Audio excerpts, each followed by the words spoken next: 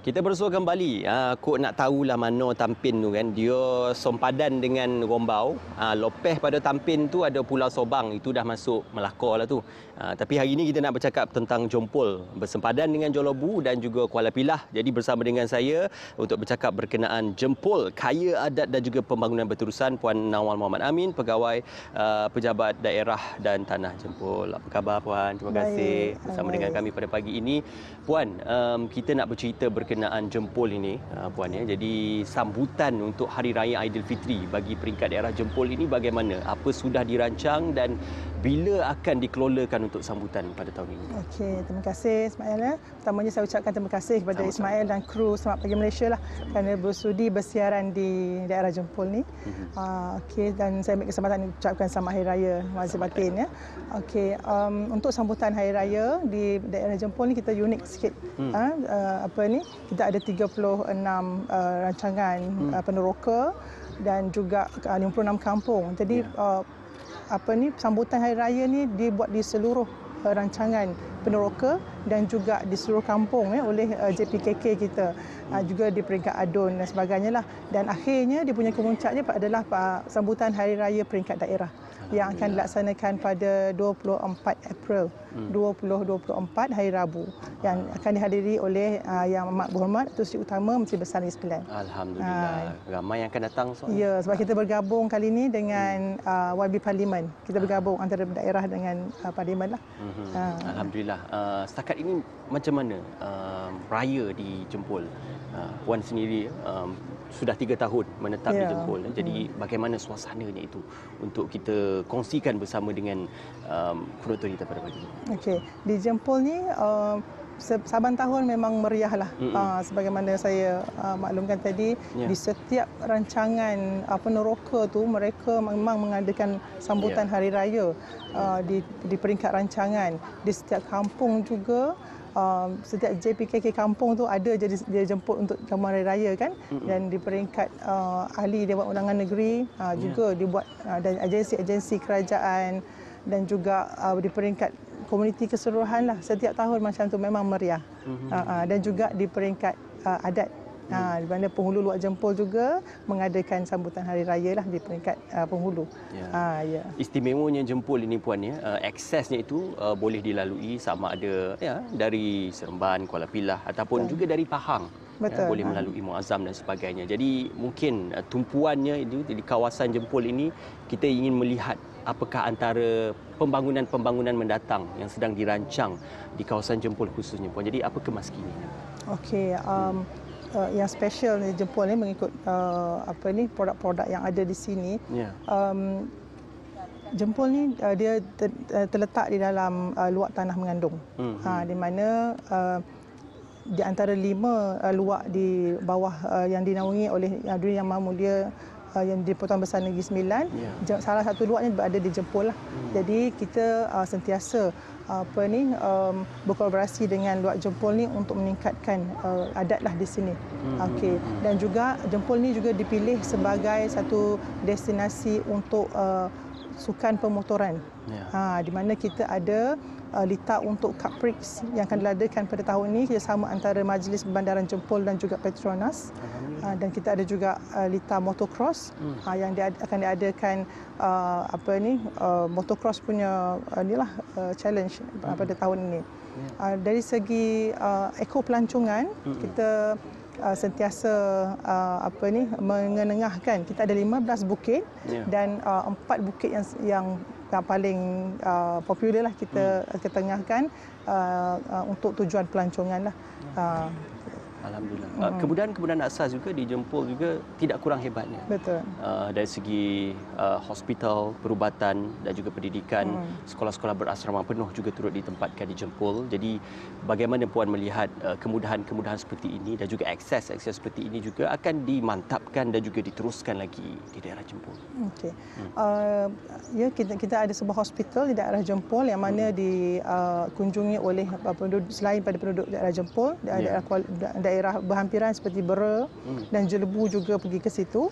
Lepas tu kita sentiasa uh, apa ni uh, angkat permohonan untuk meningkatkan uh, mantapkan hospital jempol tersebut. uh, dan juga dari segi di sini juga popular dengan uh, apa ni pendidikannya di mana yeah. kita, kita terdapat uh, lima buah uh, sekolah berprestasi tinggi dan hmm. akan ditambah lagi sebagaimana yang diumumkan oleh Yang Amat Berhormat uh, Perdana Menteri baru ini kita hmm. akan menerima sebuah lagi SMKA Sekolah Menengah Kebahasaan Agama di uh, Serting. Alhamdulillah. Ha. Selain daripada MRSM Serting. Yes, kita ada MRSM Serting, kita ada SBPI dan sebagainya. Hmm. Ada lagi SMKA. Alhamdulillah. Untuk anak-anak Jempol. Bandar Seri Jempol, kita ada juga Bahau ya, yang yeah. sering menjadi tumpuan bukan saja ya dari kawasan Kuala Pilah sekitar ataupun dari ada juga datang dari Muazzam, yeah, dari Bera betul. juga turut datang uh, mungkin untuk membeli belah atau untuk mendapatkan barangan keperluan harian. Jadi Jempol ini dilihat sebagai satu akses tumpuan ya, kepada mungkin uh, penduduk-penduduk di sekitar dan juga penduduk yang mungkin agak sedikit jauh sedikit. Jadi untuk menyediakan ruang kepada uh, tujuan dan juga akses ini, apakah Jempol sudah bersedia untuk menerima lebih ramai kunjungan-kunjungan uh, mungkin pengunjung ataupun uh, mereka yang datang singgah di Jempol nanti? Ya.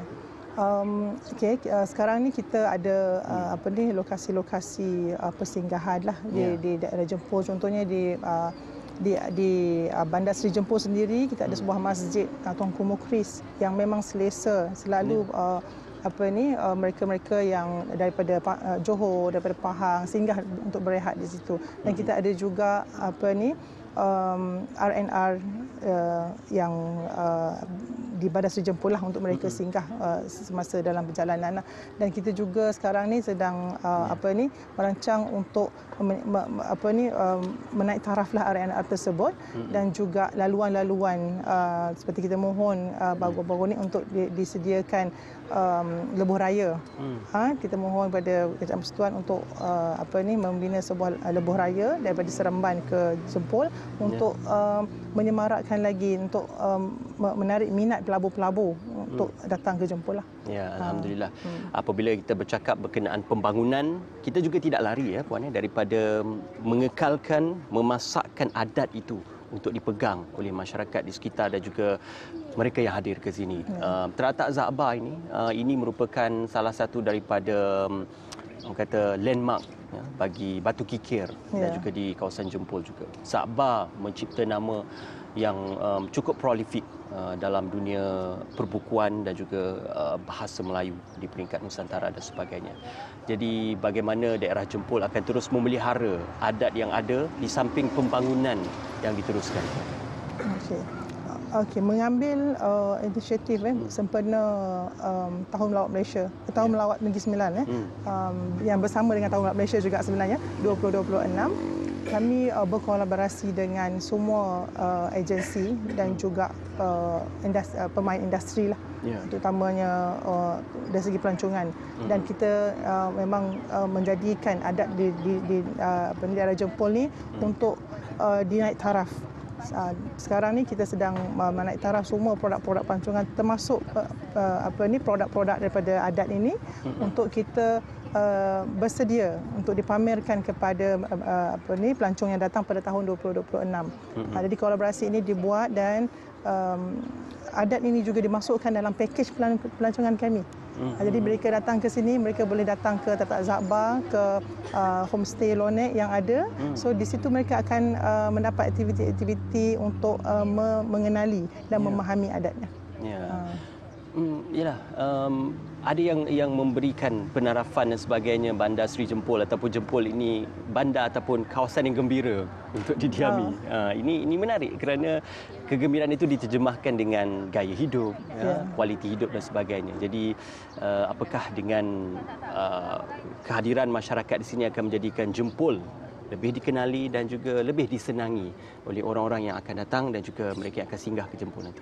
Ya masyarakat Jempol sentiasa uh, gembira lah uh, yeah. untuk menerima pelancong di sini mm-hmm. uh, dan uh, kami sentiasa bersedialah untuk menerima sebarang uh, sama ada pelancong ataupun yeah. uh, pelabur untuk datang ke daerah Jempol lah mm. uh, dan um, dan uh, sebab itu dalam perancangan kami sentiasa um, untuk meningkatkan kemudahan supaya mereka selesa di sini dan hmm. kita dan uh, penduduk di sini juga uh, ramai uh, menjadikan rumah-rumah mereka sebagai homestay yeah. uh, untuk pelancong datang hmm. uh, dan kita juga beberapa buah hotel di uh, Bahau lah. Hmm. Uh, nak ke Bahau boleh, nak ke Bandar Si Jompol pun boleh. boleh. Uh, kita ada banyak uh, homestay pun banyak. Uh, uh, uh, okay. Batu Kikir pun ada. Batu Kikir pun ada. pun ada. Ya. Yeah. Uh, okay. uh. Terima kasih puan kerana bersama dengan kami kita doakan yang terbaik untuk uh, daerah Jempol secara keseluruhannya insya-Allah akan terus maju dan juga membangun seterusnya memberi impak kepada Negeri Sembilan secara keseluruhannya bukan saja untuk tahun ini tapi tahun-tahun yang mendatang. Terima kasih puan okay, kerana bersama dengan kami puan wakili